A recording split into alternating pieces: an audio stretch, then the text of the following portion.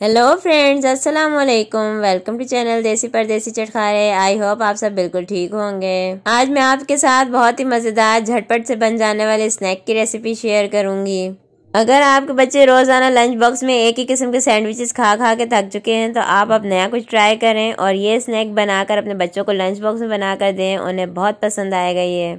इसके अलावा आप इस स्नैक को शाम की चाय के साथ बनाकर सर्व करें। सबको बहुत पसंद आएगा और आप अपने फ्रेंड्स एंड फैमिली को भी ये सर्व कर सकते हैं। सबको इसका टेस्ट बहुत पसंद आएगा। पकोड़े तो आपने बहुत ही खाए होंगे। हर घर में पकोड़े बनते हैं, लेकिन आज आप मेरे स्टाइल में पकोड़े ट्राई करें, सबको बहुत पसंद आएँगे ये। तो चले, बिना कोई वक्त आया कि झटपट सी रेसिपी बनाना स्टार्ट करते हैं। बिस्मिल्लाहिर्रहमानिर्रहीम। एक आलू को इस तरह से छिलका उतार कर पतला पतला लंबा लंबा कट कर प्याज ऐड कर दें। ज़रूरी नहीं कि आप भी चॉप प्याज ऐड करें आप इसमें लंबी लंबी काट के भी प्याज ऐड कर सकते हैं। दो टेबल स्पून कटा हुआ धनिया और दो टेबल स्पून कटा हुआ पुदीना डाल दिया है। अब इसमें एक बारीक कटी हुई हरी मिर्च डाल दें। वेजिटेबल्स ऐड कर दिए अब हम स्पाइसेस ऐड कर देते हैं। वन टीस्पून नमक ऐड कर दिया है। हाफ़ टी स्पून पिसी लाल मिर्च ऐड कर दें। हाफ़ टी स्पून कुटी लाल मिर्च ऐड कर दें। वन टीस्पून साबुत धनिया ऐड कर दें। साबुत धनिया आप हाथों में क्रश करके भी डाल सकते हैं। खूबसूरत से कलर के लिए आप इसमें हाफ़ टी स्पून पिसी हुई हल्दी ऐड कर दें। अब इन तमाम अज्जा को अच्छी तरह से मिक्स कर लेते हैं। बेसन ऐड करने से पहले तमाम अज्जा को अच्छी तरह से मिक्स करने से मसाले अच्छी तरह से मिक्स हो जाते हैं वेजिटेबल्स के साथ। तमाम अज्जा को अच्छी तरह से मिक्स कर लिया है। अब इसमें वन कप बेसन ऐड कर दें। बेसन को भी पहले अच्छी तरह से इन स्पाइसेस में मिक्स कर लेते हैं। अगर आपको वीडियो पसंद आया तो प्लीज़ वीडियो को लाइक और शेयर करें और मेरे चैनल को सब्सक्राइब कर दें। बेसन की क्वांटिटी थोड़ी सी कम लग रही है तो मैं इसमें मज़ीद हाफ़ कप बेसन ऐड कर रही हूँ। इस बेसन को भी अच्छी तरह से वेजिटेबल्स में मिक्स कर लेते हैं। तमाम अज्जा को अच्छी तरह से मिक्स कर लिया है। बेसन भी अच्छी तरह से मिक्स हो चुका है। अब इसमें थोड़ा थोड़ा करके पानी ऐड करेंगे और एक पेस्ट रेडी कर लेंगे। बिल्कुल पकौड़ों के बैटर के जैसा बैटर रेडी करना है, बहुत ज़्यादा फ्लोई भी ना हो और बहुत ज़्यादा थिक भी ना हो। इसीलिए इसमें पानी थोड़ा थोड़ा करके ऐड करें, एकदम से सारा पानी ऐड नहीं करना। इसको आप बच्चों को लंच बॉक्स में बनाकर दे सकते हैं, उन्हें भी ये पसंद आएँगे इस तरह से खाना और उनका पेट भी भर जाएगा। बैटर रेडी हो चुका है, बैटर की कंसिस्टेंसी आप देख सकते हैं, ये बहुत ज़्यादा फ्लोई नहीं है और बहुत ज़्यादा थिक भी नहीं है। तंदूरी नान ले लेना है और नान को इस तरह से सेंटर से कट करके चार पीसेस में कट कर लेते हैं। आप चाहें तो आप इसी तरह से पूरा नान भी यूज़ कर सकते हैं, लेकिन मैं इसे पीसेस में कट कर रही हूँ। बैटर की जो क्वांटिटी है, इसके लिए दो नान की ज़रूरत होगी।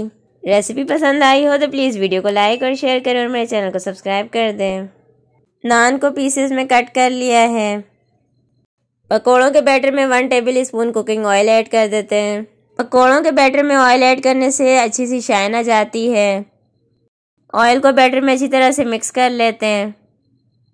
बहुत ही ज़बरदस्त सा बेहतरीन सा येलो कलर का बैटर रेडी हुआ है। बैटर को तकरीबन तीन से चार मिनट का रेस्ट दिया था और आप अब इसकी कंसिस्टेंसी देख सकते हैं। बहुत ही ज़बरदस्त बैटर रेडी हुआ है। बहुत ही क्रिस्पी से हमारे नान रेडी होंगे।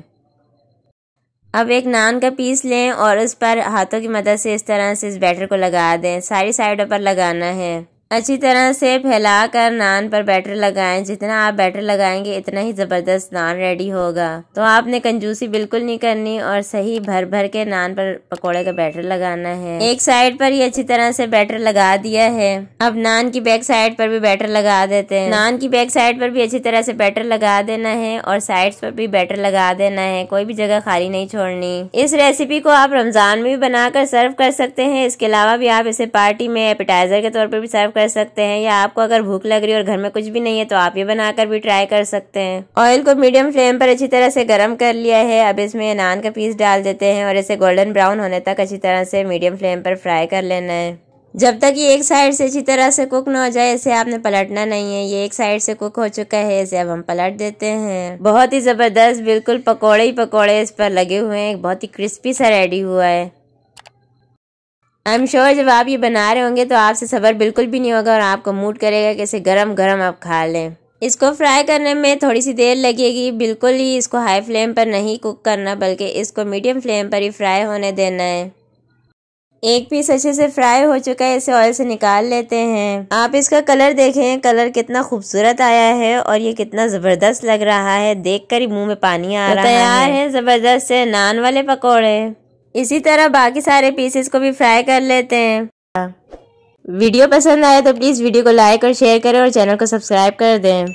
तो तैयार है बेहतरीन से बेसन वाले नान। दुआ है अल्लाह ताला आपके दस्तरखान की रौनकों को कायम रखे।